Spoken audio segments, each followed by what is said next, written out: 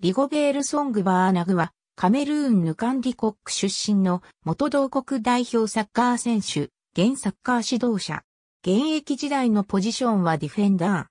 ー。現在は U-23 カメルーン代表の監督を務めている。FC メスでは1996年のクープ・ドゥラリーグ優勝に貢献。1998年にはセリエ A に昇格した US サレルニターナ1919へ移籍する。1999年1月に700万ポンドの移籍金でプレミアリーグのリバプール FC に加入。クラブ初のカメルーン人選手としてアウェーのコベントリーシティ FC 戦でリーグデビューとなった。1999から00シーズンはアフリカネーションズカップ参加のため3ヶ月間クラブから離脱するなど、ポジションを確立できなかった。2000年夏には、ジェラール・ーリエ監督が、シドニーオリンピックへの派遣を拒否するなど、戦力として数えられていた。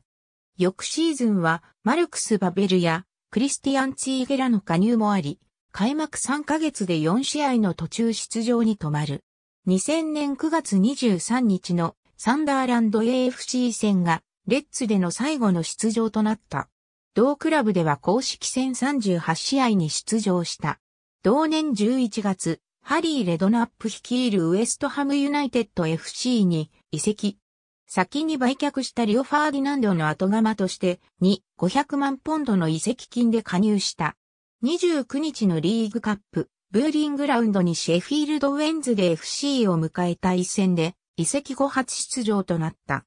2001から02シーズンによりグレン・ローダーが新監督に就任すると不遇をかこち、11月に 1FC ケルに期限付き移籍することとなった。約1年間の在籍で27試合出場、無得点。ハマーズでの最終戦は0から5と大敗したエバートン FC とのリーグ戦となった。2011年11月、ブンデスリーガで会にあえぐ 1FC ケルンにシーズン終了までのローンで加入。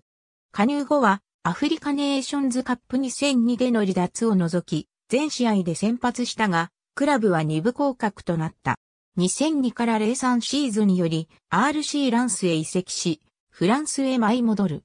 2004から05シーズンにより、スユペルリグのガラタサライ SKH500 万米ドルの移籍金で加入する。クロアチア代表スティエパン・トマスとセンターバックのコンビを、組強固な守備陣を形成。トゥルキエクパス優勝や、翌シーズンのリーグ制覇に貢献した。2007年2月18日に行われたガズイアンテプスポルトの試合中、エリック並列監督と口論となる。後に謝罪したが、出場機会は減少した。2007から08シーズンより、カール・ハインツ・フェルトカンプが指揮官に就任すると、ポジションを奪還し、新たにキャプテンに任命される。アフリカネーションズカップ2008から戻ると、自身の負傷に加えエムレギュンニョルやセルベト・チェティンらの台頭により、ベンチを温めたが、クラブは16度目のリーグ優勝を達成した。2008から09シーズンより、トラブゾンスポルト2年契約を締結。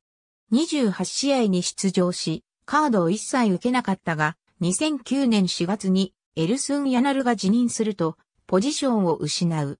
12月に新監督として招聘されたシェノル・ユネシュの下ではキャプテンを務め、2009から10シーズンのリーグカップを獲得した。同クラブのサポーターからは、ブックセフと称された。ギニアとの親善試合1993年にメキシコとの親善試合でカメルーン代表デビュー。イゴキープレイヤーとして18年にわたってプレーし、アンリ・ミシェルにより1994年アメリカ大会に招集されて、以降、1998年フランス大会、2002年日韓大会、2010年南アフリカ大会と4度のワールドカップに出場した。17歳当時にアメリカ W 杯で受けた退場処分は大会最年少記録であり、フランス W 杯では大会史上初めてに大会連続でレッドカードを提示される。二つのワールドカップで退場となったのは、他にジネディーヌ時代のみである。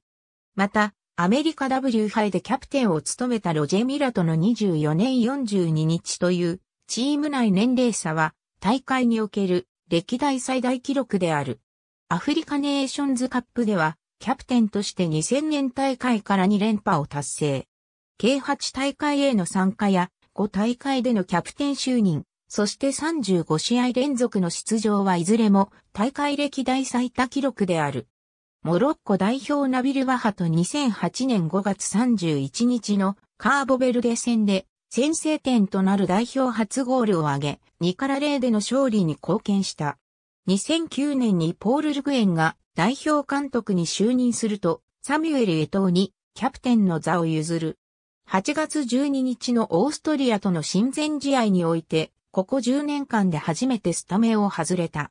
2010FIFA ワールドカップでは、日本との開幕戦でベンチスタートとなり、チームは本田圭介のゴールにより0から1で敗れる。試合後、自身をはじめ年長の選手は若手主体でチームを構成するルグエンにメンバーの再興を求めた。しかし続くデンマーク戦でも起用されず1から2で敗戦し、グループリーグ敗退が決定。オランダとの GL 最終戦でニコラ・ヌクルとの交代で73分からピッチに立ち、W 杯4大会出場を達成した。1から2で敗れ大会を終えると、8月1日に代表引退を表明した。代表でのキャップ数は137を数え、カメルーン代表の最多試合出場選手となっている。2015年10月、チャド代表の監督に就任。しかし11月のエジプト戦では、不在で、結局国際サッカー連盟に正式承認されることはなかった。2018年にはカメルーン代表の暫定監督を務める。同年10月18日、U-23 カメルーン代表の監督に就任することが発表された。既婚であり、21男を設けている。同じく、プロサッカー選手のアレクサンドル・ソングは追い、2016年10月3日、ヤウンデの自宅で脳卒中に倒れ昏睡状態に陥った。翌日には意識を回復すると、フランスの病院に移送される。その後は解放に向かい、12月24日には、レキップのインタビューで経緯を語った。ありがとうございます。